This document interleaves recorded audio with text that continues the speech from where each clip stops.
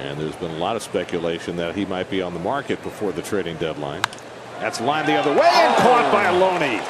Boy, James Loney has a great ability to stretch for those balls to his right. And he snags that line drive for the first out. Well, all of his six foot three inch frame